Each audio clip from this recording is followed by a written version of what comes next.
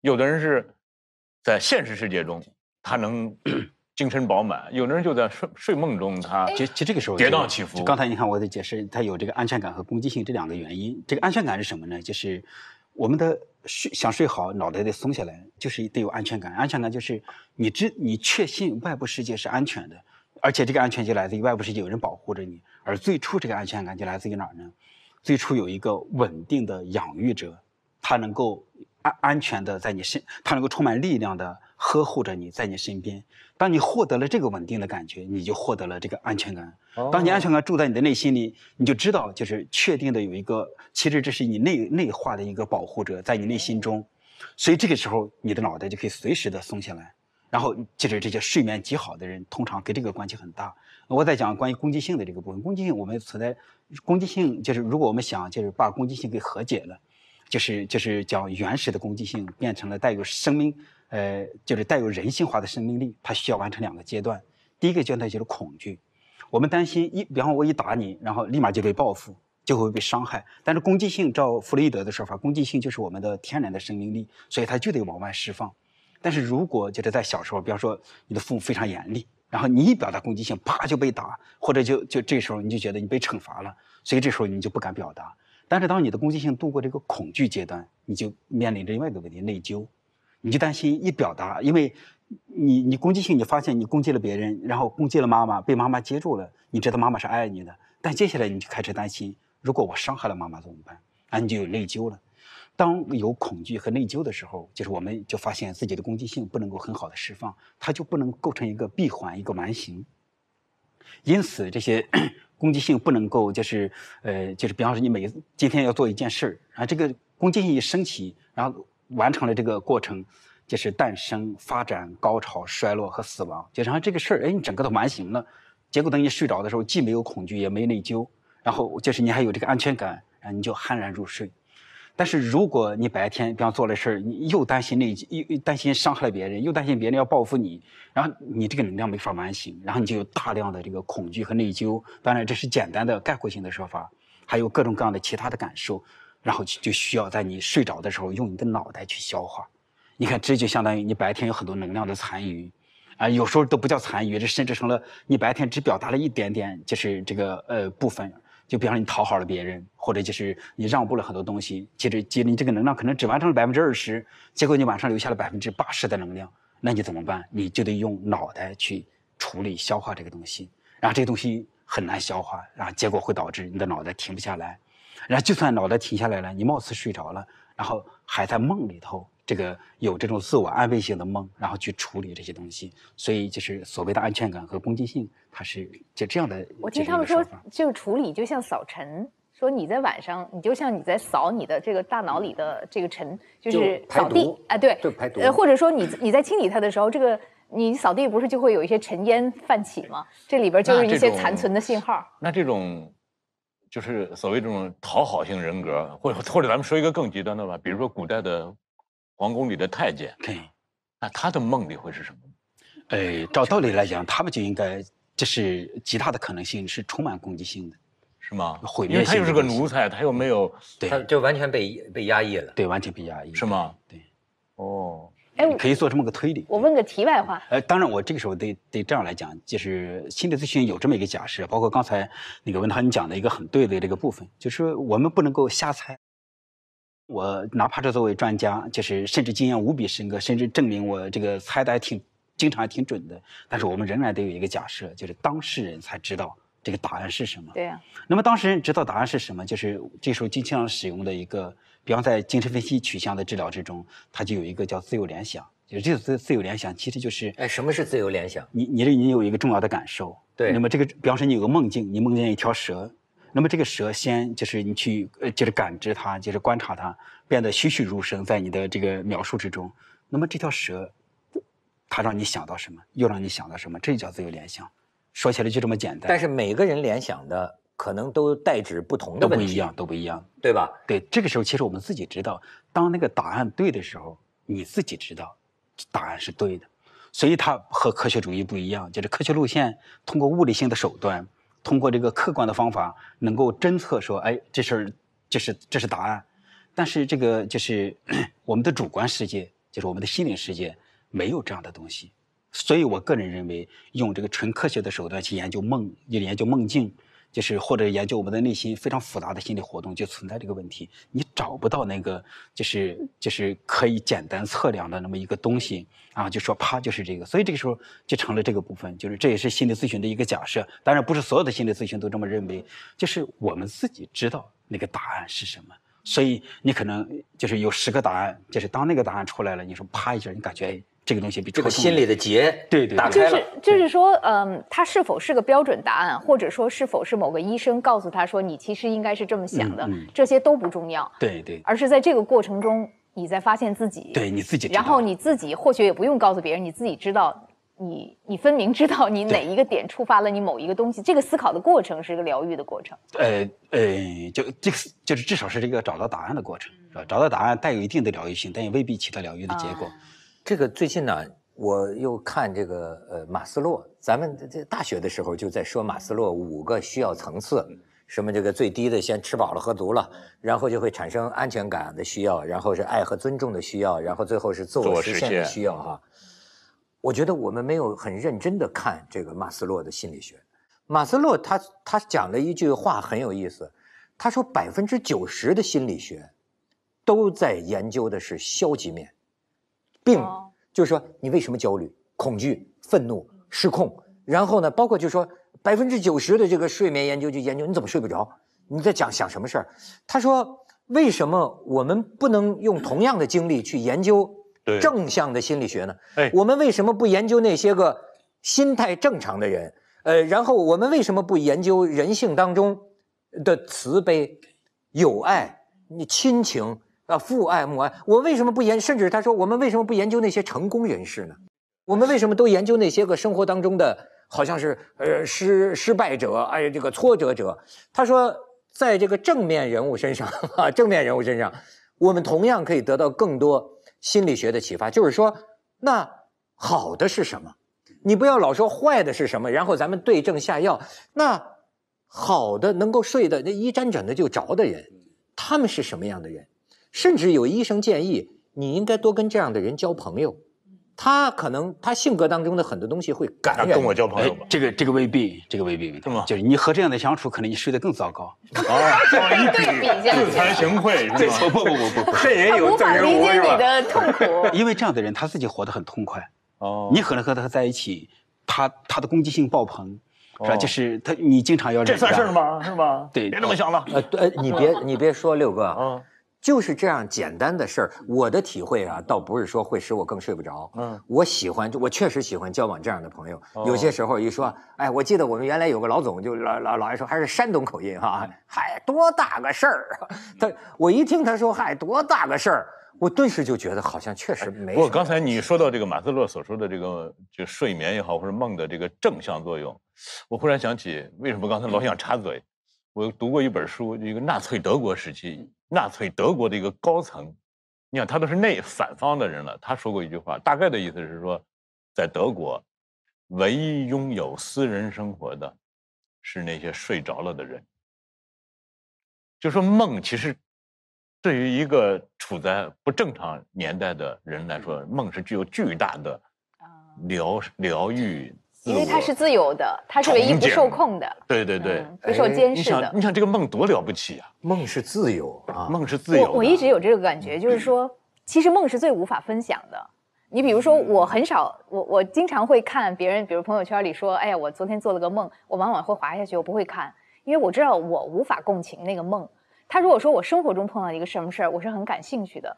但我觉得梦其实就是说，你只能呃，你也不用给别人讲。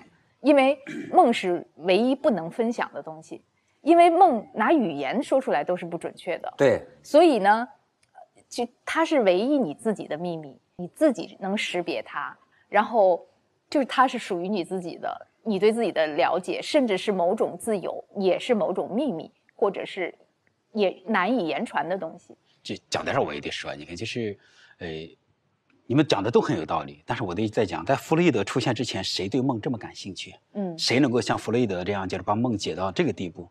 就所以就是我们，我一方面得说，我们确实是通过自由联想的方式，就是或者根本上我们自己是自己解梦的，自己是自己的解梦师，而这个答案在自己内心之中。但你看，在弗洛伊德出现之前，大家都觉得梦是神秘难以理解的，而周公解梦都和命运连到一起，而梦都是各种各样的征兆啊什么的。但实际上，你看这不一样嘛。那到了到了弗洛伊德这儿，就假如用这个科学的方法来发现，你也没法去讲弗洛伊德这个解梦的这个方式是对还是错。对但是我们可能在一定意义上来讲，到了这儿，梦终于能够被系统的理解。我有个好奇是，但怎么来证明他这个说的是对的呢？因为梦是无法证伪的。哎，因为我们我我们自己会知道的呀。因为我自己也就也经常会有一种神秘感嘛，就是嗯梦会有一种预兆性，对，是吧？呃，我后来是看过一篇文章，他解释了，就是梦其实没有预兆性，梦不能让你看到未来的世界，哎，但是梦能让你看到自己，对梦能让你看到过去。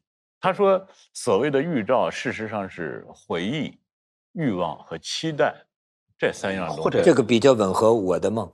这这个这这个这我我跟你说，所有对梦的这个过分超能力的想象啊，嗯我觉得是没有实证的。它其实是个反观，对是往回看。对，可是呢，我觉得它对我们非常有意义。甭管他在生理上、客观上起到了是不是脑脊液要冲走那个伽马什么是吧？那个都无所谓，贝塔贝塔贝塔对吧？甭管那伽马还是贝塔，但是呢，对我们来讲是德塔。不是，我就说什么呢？我说对我们来讲呢，它为什么特别有意义？你刚才讲的啊，就是你看我有，他把一些感觉啊串联起来，因为我曾经在我们这个节目里，那个我曾经讲过，就是说，呃，我的呃呃母亲这个中风，中风之后她就不能就就就不能说话了。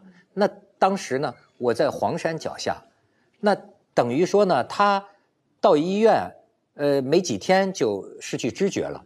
那她只是在电话里给我说了一个话，就大概就要问她啊，我没事儿，就很无力。那就等于说是我母亲最后一句我听到她的声音。当时我有一个特别的印象，到今天都记得，就是因为她特虚弱，所以你就会觉得她这个声音特别弱，但是又特别温柔，特别的温柔又又无力，你知道吗？就是那么一种感觉。呃，后来呢，也涉及到给她找医院呐、什么的这些问题。然后呢，前些日子我就做了呃一个梦，好像就是梦见呢，呃，我妈妈这个这个呃重病了，然后呢，我就抱着他，我就记得我是这么抱，我这么抱着他，这么抱着他，他这个头啊就在这儿，他的头就在这儿。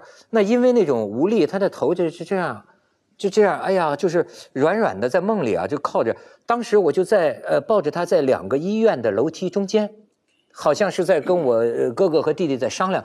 哎呀，那个医院没有停车场了。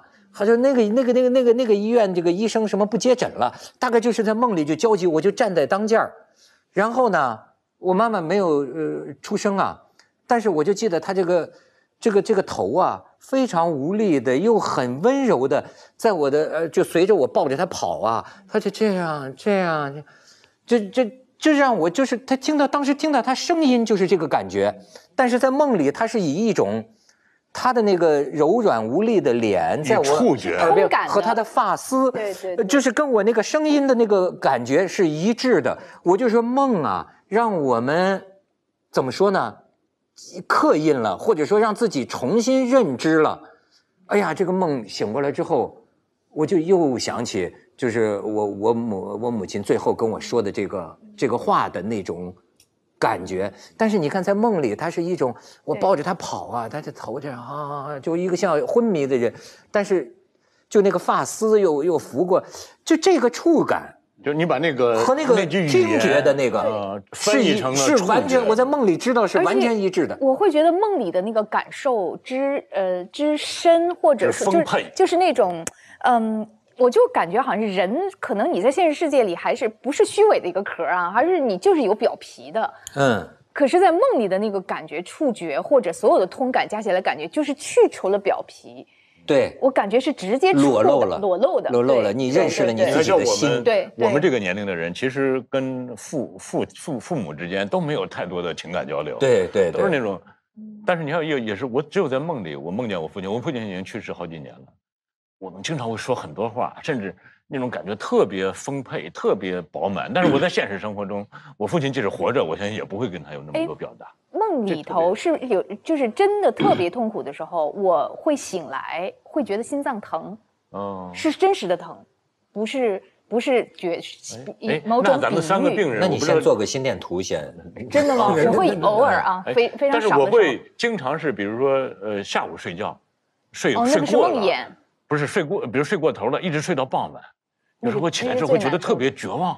六根讲的还不是梦魇，其实就是讲到午睡的时候不能太长，因为这是跟睡眠的，这是个睡眠的科学紧密联系在一起。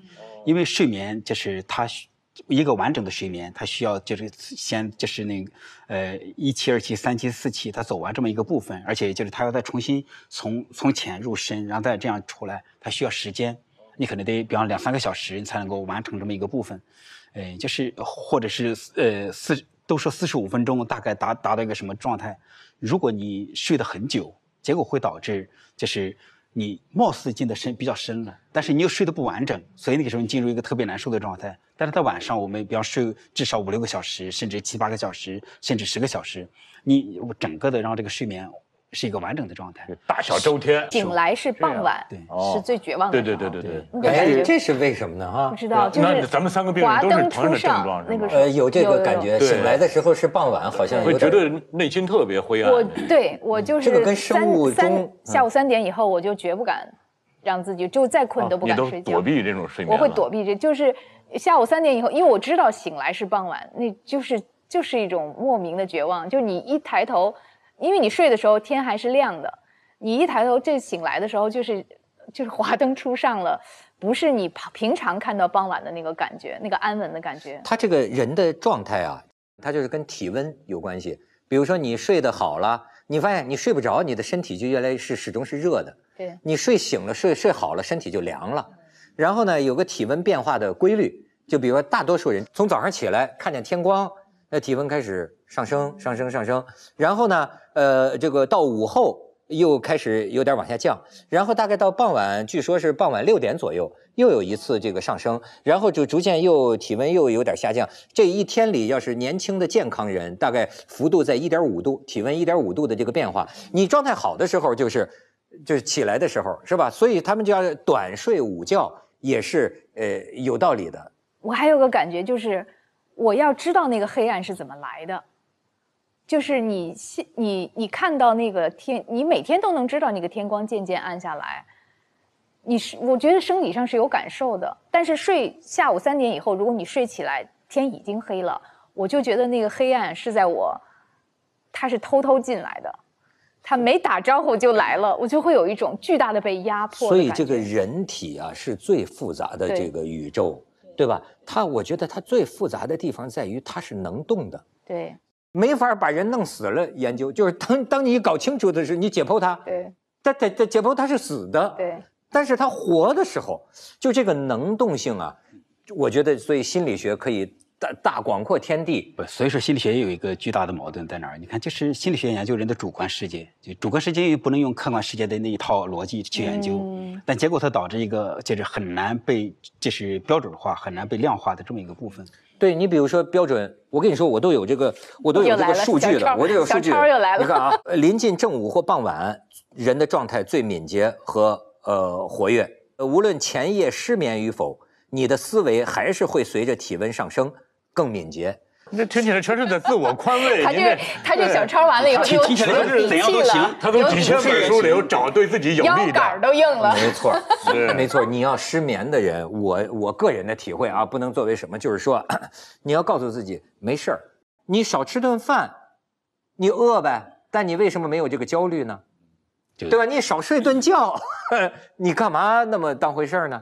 就我我我有一些，呃，有几个特别严重的来访，他们就有这个就是严重的睡眠问题，他们有这么一种逻辑，他们觉得自己白天状态不好，就是因为晚上睡不好，比方说白天一般涉及两个，工作状态不好，再一个就是人人际关系就是处不好，他觉得自己是因为晚上严重的没有睡好，哎，所以他们一直存在这么一个逻辑：如果晚上睡好了，第二天就有个好状态，就可以好生活、好工作。哎这个结果，我自己就都能判开出俩药方来。第一个药方叫用早起促早睡，哎，这还就是你必须得早上早起。你说比如早上六点钟起，你看你第二天还睡得晚吗？还这有一个，这这也也存在问题他睡不着。还有一个，我认为就像小孩一样，我带小孩就是你白天不耗他，他晚上就耗你。啊，对，我觉得就这这个是一个重要的问题，你白天得耗，所以他们的逻辑是反的。对啊，其实，当他们偶尔有一天睡好了，结果发现第二天还是工作不好，然后接着下一个晚上就睡不好了。所以后来那时候我们总结出这个逻辑应该是反过来，对你得把你的能量给使出来，对，把这劲儿使出来，这样人晚就是把上肯定是攻击性没睡释放了。怎么使呢？就是就是就是攻击性，释放你的攻击性别别谁是想攻击谁呢？白天被老板骂了，吴老师哎你白天被老板骂了，晚上攻击谁呢？攻击性我们是一你这说完了我们个都躲着他攻击性是一个那个简单的说法，就是我们 一般把它理解为要打人，不是这个意思。比方我我我比方说，比方勤，奋的人基本上不失不失眠。哎也不会，哎你不能这么说这个这个很多人是勤奋失眠的，对呀、非常勤奋的在失眠对，。比方我你这种不。失眠的人，就不要替失眠的人总，结。他一沾枕头就着。对啊比方我们举个简单例子，就是，但你看在你这儿又不适用。就是假如你今天这个节目做得很好，你觉得今天该说的话都说了，该该你有一种圆满感，然后到了晚上你可能倒头就睡了。但也不会但是你看你又不会是吧？但一般的道理来讲是，你白天把自己的劲儿都使出去了，然后到了晚上你就可以就睡得很好。就但是失眠的人大部分都是说我很累呀、嗯我很累，就是我觉得我劲儿已经精疲力尽了，但是就是睡不着。但但是那个劲儿是困而呃，那个劲儿是不一样的，那个是思考在使劲儿。就是你在思考上使了很多，你相当于这样的，你你想表达攻击性，砰，你把它压住了，然后思维你压在这儿，你就觉得难受，你想多一点，结果思维和这个体验，就是或者你就说思维和攻击性构成了这么一个过程。如果你使劲儿的时候，你发现就是你是比较顺的，然后你就就这么，就当然你看讲到这儿，我得说我也不是这种人。哦，你你是失眠的哈，对，就当然当然是，反正我是不敢说话，说话因为我对对对，因为您是睡得好的体验。其实这事儿我现在想很简单，就是有一个阈值啊，嗯是你真到了需要专业医生帮助的时候，或者专业的心理没错人，那您就去看病，对吧？但是呢，就我身边的，哎，从十几岁的到七十岁的朋友们，好像现在说谁十二点以前睡，那都是不现实的吧？有一部分人是确实工作和压力有刚性的压力，客观的，对吧？但是更多的人，您觉不觉得嗯，没错，他舍不得睡？对，所以我们可以做个广告。你想睡眠好吗？把你手里的手机 换成书就好了。真是以哎，以前我们没有这个习惯的时候，除了看书，比如睡前做做什么事儿，是不是都需要？哪怕睡前妈妈给你讲个故事，是吧？对你，你可能都要比这个累。我现在有个时机判断，就是呃呃看呃睡前看书，如果看到那个几行字反复的看看了啊对对二十分钟对有那种还不知道什么意思的时候，对，赶快睡觉。就是看到这又往前爬一下，再往前爬一下的时候，对。